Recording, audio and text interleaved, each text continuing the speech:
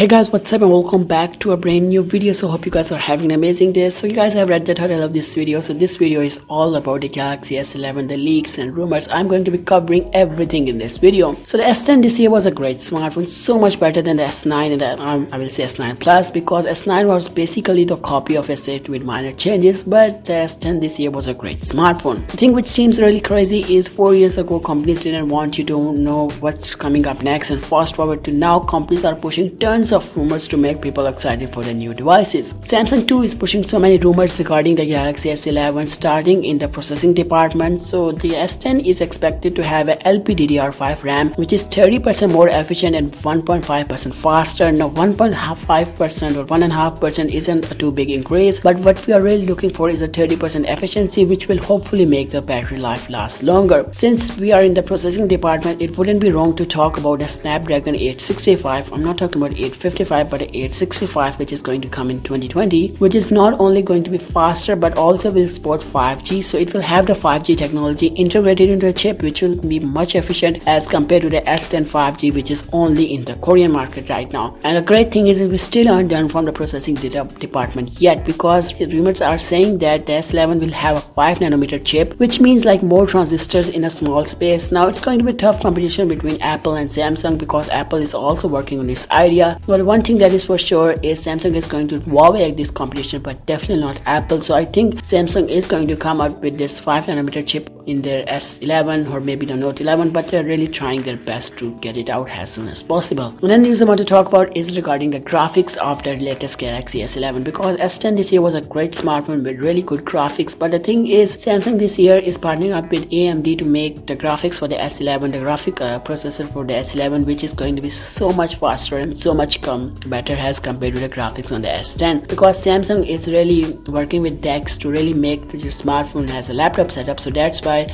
your smartphone need a better graphic card. I mean for mobile usage it's fine. But if you want to really project your smartphone to your laptop or your monitor then you definitely need a better graphics in your smartphone. Now the thing is uh, I want to talk about the camera sensor because Samsung is using the same camera sensor which is on the S8 and the S9 and S10 for the S10 they did tweak the performance a little bit but it's the same sensor but according to the rumors Samsung is working on a brand new sensor which is not only going to be big but we could also see a zoom lens which is something that is really exciting because Huawei and so many other companies are putting zoom lens in their smartphone. Now we are hearing all good rumors regarding the S11 but we do have some news which isn't very exciting to hear that is really the 90Hz display which Samsung is not going to include in the S11 which is kind of sad because Apple is also working with 120Hz display for the latest flagship. So the S11 will come with a one UI 2.0 which is going to be faster, much lag free and much of the things which seems a bit odd in the one UI is going to be better next year. The one thing which I'm personally really excited for is the 100 watt fast charging which Samsung maybe can release with the S11. It has been rumored but the thing is I think Huawei is going to win this competition because Huawei is also having like some of the fastest charging smartphone in the market right now. So this is going to be a close competition between Samsung and Huawei and all other Chinese companies such as Vivo, all of those. But i think